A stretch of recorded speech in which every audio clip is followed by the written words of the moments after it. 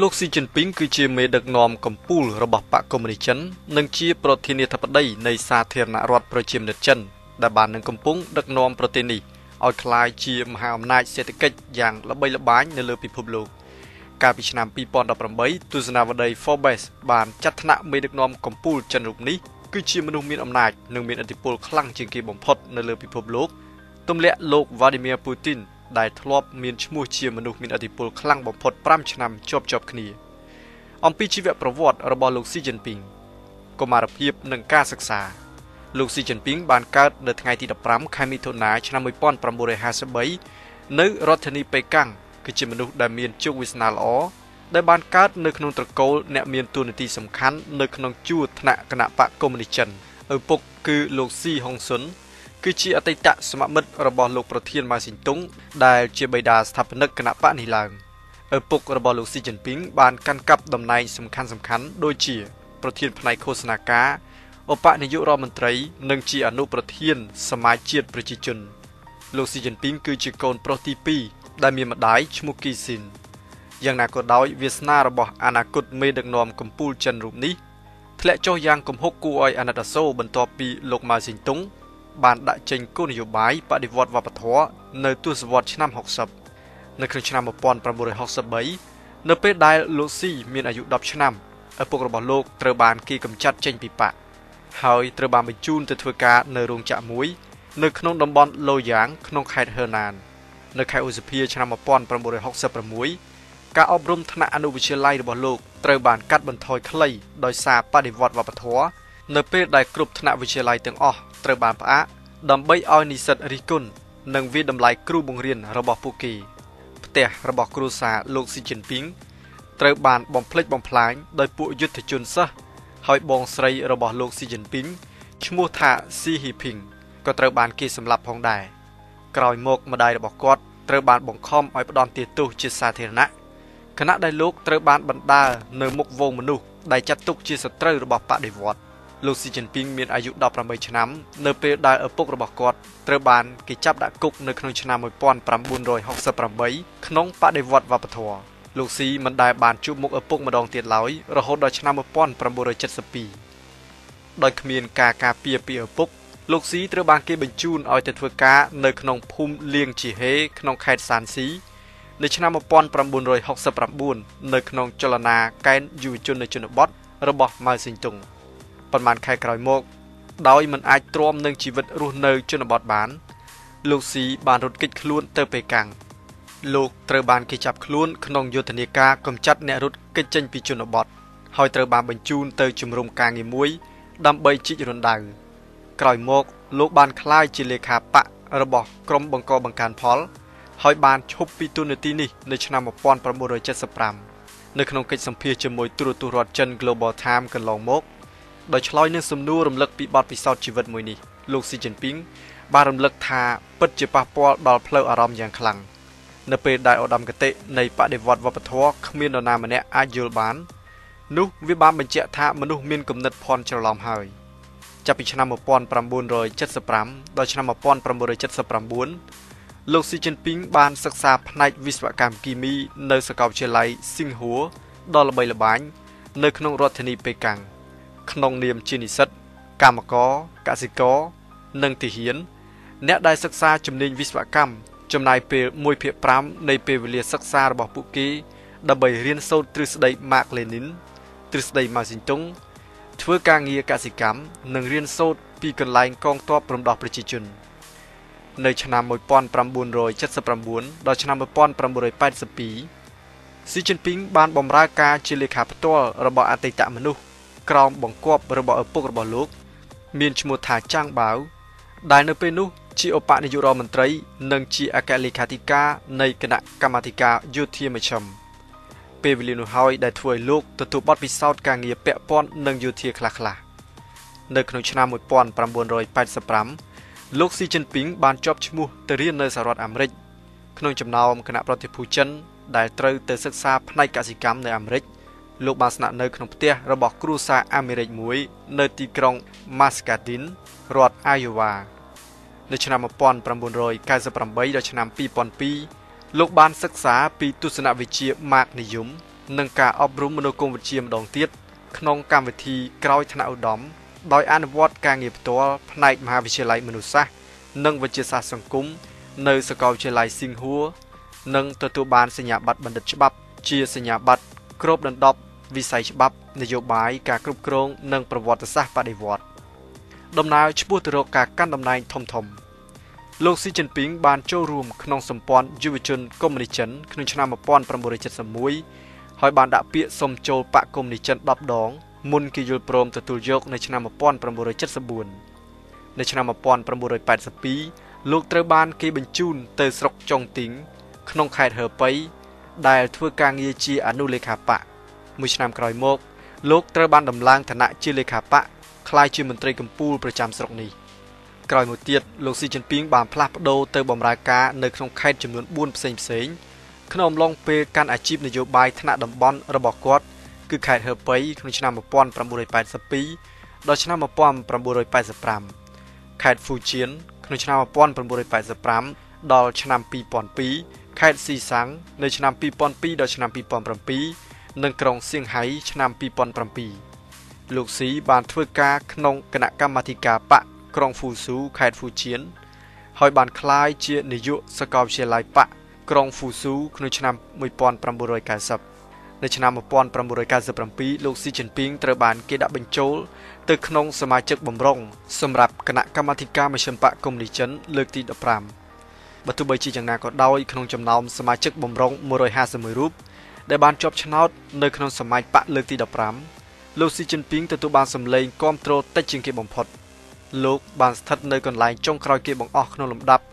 នៃសមាជិកទាំងអស់ទំនងដោយសារតែឋានៈរបស់លោកជាមេដឹកនាំដែលមិនសូវសំខាន់នៅឆ្នាំ1999លោកត្រូវបានដំឡើងឋានៈជាអភិបាលរងខេត្តហ្វូជៀនហើយក្រោយមកលោកបានក្លាយជាអភិបាលខេត្ត ក្នុងខេត្តហ្វូជៀនលោកស៊ីបានប្រឹងប្រែងតាក់ទងការវិនិយោគពីតៃវ៉ាន់ពង្រឹងវិស័យសេដ្ឋកិច្ចឯកជននៅក្នុងខេត្តផង នៅក្នុងខែកុម្ភៈឆ្នាំ2000លោកនិងលេខាបកថ្នាក់ខេត្តនៅទីនោះក៏ត្រូវបានគេហៅមកពន្យល់នៅមុខសមាជិកកម្ពុជាកម្ពុជាទាំង10រូប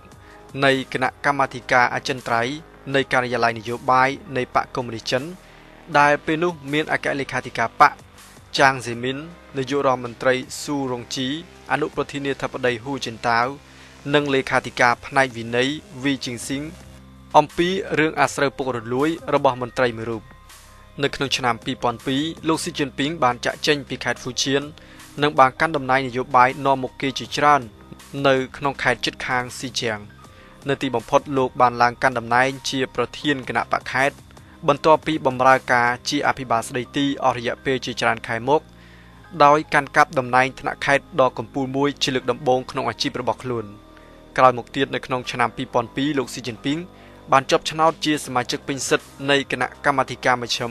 លើកទី16ដែលជាការកត់សម្គាល់ពីការឡើងកាន់អំណាចជាថ្នាក់ជាតិរបស់លោកពេលគ្រប់គ្រងនៅខេត្តស៊ីជាងលោកស៊ីត្រូវបានគេរាយការណ៍ថាបានធ្វើឲ្យខេត្តនេះមានកំណើនសេដ្ឋកិច្ច14%ឯណោះក្នុងមួយឆ្នាំ ការងាររបស់លោកស៊ីនៅក្នុងខេត្តស៊ីជាង ត្រូវបានគេមើលឃើញពីជំហរដ៏រឹងមាំរបស់គាត់ប្រឆាំងនឹងអំពើពុករលួយ ដែលបានធ្វើឲ្យគាត់មានឈ្មោះល្បីល្បាញលើប្រព័ន្ធផ្សព្វផ្សាយជាតិនិងបានតាក់ទាញចំណាប់អារម្មណ៍ពីមេដឹកនាំកម្ពុជាកម្ពុជារបស់ចិនផងដែរលោកស៊ីជីនពីងត្រូវបានគេផ្ទេរទៅជំនួសតំណែងបដិសន្នជាប្រធានបកនៅក្រុងសៀងហៃនាខែមីនាឆ្នាំ2007បន្ទាប់ពីការបណ្ដេញចេញអតីតប្រធាន លោកជៀនលៀងយូនៅខែកញ្ញាឆ្នាំ2006 ដោយសារតែរឿងអាស្រូវពុករលួយត្រឹមតែរយៈពេល7ខែតែប៉ុណ្ណោះលោកត្រូវបានគេតែងតាំងជាប្រធានបកពេញសិទ្ធិប្រចាំតំបន់ដ៏សំខាន់បំផុតរបស់ប្រទេសចិនហើយនេះជាសញ្ញាមួយបញ្ជាក់យ៉ាងច្បាស់ថាគាត់ត្រូវបានមេដឹកនាំកម្ពុជារបស់ចិនយកចិត្តទុកដាក់យ៉ាងខ្លាំងនៅទីក្រុងសៀងហៃលោកស៊ីជីនពីងបានព្យាយាមគេចចេញពីភាពចម្រូងចម្រាសហើយត្រូវបានគេស្គាល់ថាជាអ្នកគោរពវិន័យបកបានយ៉ាងខ្ជាប់ខ្ជួនជាស្ដែងអភិបាលក្រុងសៀងហៃបានព្យាយាមយកចិត្តយកថ្លើមលោកស៊ី ដោយរៀបចំរថភ្លើងពិសេសដឹករូបលោកពីទីក្រុងសៀងហៃទៅទីក្រុងហោស៊ូក៏ប៉ុន្តែគាត់បានបដិសេធភ្លាមភ្លាមមិនជិះរថភ្លើងនោះទេដោយលើកឡើងពីបទបញ្ជាផ្ទៃក្នុងបកដែលបានចែងថារថភ្លើងពិសេសអាចប្រើប្រាស់បានតែសម្រាប់មេដឹកនាំថ្នាក់ជាតិតែប៉ុណ្ណោះនៅសៀងហៃលោកស៊ីជីនពីងបានខិតខំធ្វើឲ្យមានសាមគ្គីភាពផ្ទៃក្នុងបកហើយបានសន្យាថានឹងមិនមានការរុះរើមនុស្សក្នុងរដ្ឋបាលរបស់គាត់ឡើយ បើទោះបីជាមន្ត្រីមូលដ្ឋានជាច្រើនត្រូវបានគេគិតថាជាប់ពាក់ព័ន្ធក្នុងរឿងអាស្រូវពុករលួយក៏ដោយលោកស៊ីជីនពីងត្រូវបានតែងតាំងជាសមាជិកម្នាក់ក្នុងចំណោមសមាជិកទាំង9នៃគណៈកម្មាធិការអចិន្ត្រៃយ៍នៃគណៈបកកុម្មុយនីចិនក្នុងសមាជលើកទី17នាខែតុលាឆ្នាំ2007លោកស៊ីមានឋានៈខ្ពស់ជាងលោកលីខេឈៀងដែលជាការចង្អុលបង្ហាញថាលោកនឹងអាចស្នងតំណែងប្រធានាធិបតីហ៊ូចិនតាវ លោកស៊ីក៏បានកាន់កាប់តំណែងសមាជិកភាពជាន់ខ្ពស់នៃលេខាធិការដ្ឋានមជ្ឈិមបកកុម្មុយនីផងដែរការសន្មតនេះកាន់តែច្បាស់ឡើងនៅក្នុងសមាជជាតិប្រជាជនលើកទី11នៅខែមិនិនាឆ្នាំ2008នៅពេលដែលលោកស៊ីត្រូវបានជាប់ឆ្នោតជាអនុប្រធានាធិបតីសាធារណរដ្ឋប្រជាមានិតចិននៅក្នុងរដ្ឋបាលលោកហ៊ូចិនតាវដោយទទួលបានតំណែងនេះលោកស៊ីជីនពីងបានកាន់កាប់មុខតំណែងជាច្រើនលោកត្រូវបានគេចាត់ឲ្យទទួលខុសត្រូវ ចំពោះការរៀបចំដ៏ធំមួយក្នុងព្រឹត្តិការណ៍កីឡាអូឡ িম্প ិកនារដូវក្តៅឆ្នាំ2008នៅរដ្ឋធានីប៉េកាំងនិងទូនាទីក្នុងរដ្ឋាភិបាលមជ្ឈិមទទួលបន្ទុកកិច្ចការហុងកុងនិងម៉ាកាវលើសពីនេះទៀតលោកក៏បានក្លាយជានាយកនៃសាកលវិទ្យាល័យគណៈបកមជ្ឈិមដែលជាស្ថាប័នកម្ពុជាផ្នែកអប់រំមនុស្សកម្ពុជា និងហ្វឹកហ្វឺនកម្មាភិបាលបកកុម្មុយនីសលោកស៊ីជីនពីងត្រូវបានគេចាត់ទុកថាជារាជបុត្ររបស់បក ដែលគេសម្ដៅដល់ក្រុមអ្នកនយោបាយដែលជាកូនចៅអ្នកបដិវត្តចិនដំបូងគេលោកធ្លាប់និយាយថាខ្ញុំនឹងដាក់គាត់ចូលទៅក្នុងប្រភេទមនុស្សថ្នាក់លោក Delson Mandela ដែលជាមនុស្សម្នាក់មានភាពនឹងណផ្លូវអារម្មណ៍ដ៏ធំធេងដែលមិនអនុញ្ញាតឲ្យរឿងរ៉ាវអភ័ព្វឬទុកវេទនាផ្ទាល់ខ្លួនប៉ះពាល់ដល់ការវិនិច្ឆ័យរបស់គាត់ឡើយម្យ៉ាងវិញទៀតគាត់ពិតជាគួរឲ្យចាប់អារម្មណ៍ខ្លាំងណាស់ នៅថ្ងៃទី15ខែវិច្ឆិកាឆ្នាំ2012លោកស៊ីជីនពីងត្រូវបានជ្រើសតាំងជាអគ្គលេខាធិការបកកុម្មុយនីចិននិងជាប្រធានគណៈកម្មាធិការយោធាមជ្ឈិមដោយសមាជបកលើកទី18លោកស៊ីបានក្លាយជាមេដឹកនាំកម្ពុជាក្រៅផ្លូវការនិងជាមេដឹកនាំកម្ពុជាដំបូងគេក្នុងប្រវត្តិសាស្ត្រចិនដែលកើតក្នុងរបបសាធារណរដ្ឋប្រជាមានិតនៅថ្ងៃបន្ទាប់លោកស៊ីជីនពីងបានដឹកនាំនិងបង្ហាញមុខសមាជិកថ្មី នៃគណៈកម្មាធិការអចិន្ត្រៃយ៍នៃការិយាល័យនយោបាយនៅលើឆាកដើម្បីបង្ហាញខ្លួនជាសាធារណៈជាលើកដំបូងរបស់ពួកគេគណៈកម្មាធិការអចិន្ត្រៃយ៍ថ្មី បានកាត់បន្ថយពីចំនួន9រូបមកត្រឹម7រូបដោយមានតែលោកស៊ីនិងលោកលីខឺឈៀងតែប៉ុណ្ណោះដែលជាសមាជិកចាស់ដែលក្រៅពីនោះសុទ្ធតែជាសមាជិកថ្មីទាំងអស់ចំពោះសន្ទរកថាលើកដំបូងរបស់លោកស៊ីក្នុងនាមជាអគ្គលេខាធិការវិញ គឺខុសប្លែកពីទម្លាប់មេដឹកនាំមុនមុនដោយលើកនេះមានលក្ខណៈសាមញ្ញសាមញ្ញហើយមិនបានបញ្ចូលពាក្យស្លោកនយោបាយណាមួយឬលើកឡើងពីមេដឹកនាំមុនមុននោះទេលោកស៊ីបានលើកឡើងពីបំណងប្រាថ្នារបស់មនុស្សសាមញ្ញដោយថ្លែងថាប្រជាជនរបស់យើង រំពឹងថានឹងមានការអប់រំកាន់តែប្រសើរការងារមានស្ថិរភាពប្រាក់ចំណូលល្អប្រសើរសន្តិសុខសង្គមដែលអាចជឿទុកចិត្តបាន ការថែទាំវិជ្ជសាស្ត្រមានស្តង់ដារខ្ពស់ជីវភាពរស់នៅកាន់តែស្រួលនិងបរិស្ថានកាន់តែស្រស់ស្អាតជាងមុនស៊ីជីនពីងក៏បានបដិញ្ញាថានឹងដោះស្រាយបញ្ហាពុករលួយឲ្យបានប្រសើរបំផុតដោយសំអាងថាវាអាចជាការគំរាមកំហែងដល់ការរស់រានមានជីវិតរបស់បកលោកស៊ីគ្មានចិត្តចង់និយាយអំពីកំណែទម្រង់សេដ្ឋកិច្ចដ៏ទូលំទូលាយនោះទេនៅខែធ្នូឆ្នាំ2012លោកស៊ីជីនពីងបានធ្វើទស្សនកិច្ចទៅខេត្តខ្វាងតុងដែលជាដំណើរទស្សនកិច្ចលើកដំបូងរបស់លោក នៅក្រៅរដ្ឋធានីប៉េកាំងចាប់តាំងពីបានក្លាយជាមេដឹកនាំកម្ពុជារបស់បកប្រធានបទសំខាន់នៃដំណើរទស្សនកិច្ចនេះគឺធ្វើការអំពាវនាវឲ្យមានកំណែតម្រង់វិស័យសេដ្ឋកិច្ចនិងវិស័យកងទ័ពឲ្យកាន់តែខ្លាំងក្លានិងរឹងមាំលោកស៊ីបានអញ្ជើញទៅទស្សនារូបសំណាករបស់លោកតេងសៅពីងហើយដំណើរទស្សនកិច្ចនេះត្រូវបានគេពណ៌នាថាកំពុងធ្វើតាមកន្លងនៃដំណើរទស្សនកិច្ចនៅភូមិខាងត្បូងរបស់លោកតេងក្នុងឆ្នាំ1992 អំឡុងពេលដំណើរទស្សនកិច្ចលោកស៊ីបាននិយាយរំលឹកទៅដល់ពាក្យស្លោកដែលលោកនិយមប្រើសុបិននៃប្រទេសចិនជារៀងរាល់ពេលស៊ីជីនពីងបានប្រាប់ទៅប្រជាជនថាសុបិននេះអាចនិយាយបានថាជាសុបិនពីប្រទេសជាតិដ៏ខ្លាំងក្លាមួយហើយបាននិយាយពីកងទ័ពគឺជាសុបិនកងទ័ពដ៏ខ្លាំងក្លាមួយដំណើរទស្សនកិច្ចរបស់លោកប្រមុខរូបនេះមានសារៈសំខាន់ត្រង់ថាលោកបានចាក់ចេញពីទម្លាប់ធ្វើដំណើររបស់មេដឹកនាំចិនតាមរបៀបផ្សេងផ្សេងគ្នា ជាធម្មតាមេដឹកនាំចិនមុនមុនតែងតែពិសាអាហារពេលល្ងាចនៅខាងក្រៅក៏ប៉ុន្តែលោកស៊ីនិងក្រុមការងារវិញទទួលអាហារប៊ូហ្វេនៅក្នុងសន្តាគារលោកធ្វើដំណើរតាមរថយន្តធម្មតាជាមួយសហសេវករបស់លោក ជាងជិះរថយន្តទំនើបទំនើបជាវង ដែលធ្វើឲ្យពិបាកដល់ការរឹតបន្តឹងចរាចរណ៍លើផ្លូវធំៗទៀតផងលោកស៊ីជីនពីងបានជាប់ឆ្នោតជាប្រធានាធិបតីនៃសាធារណរដ្ឋប្រជាមានិតចិន នៅថ្ងៃទី14ខែមីនាឆ្នាំ2013 នៅក្នុងការបោះឆ្នោតគ្រប់គ្រងដោយសមាជិកប្រជាជនលើកទី12នៅរដ្ឋធានីប៉េកាំង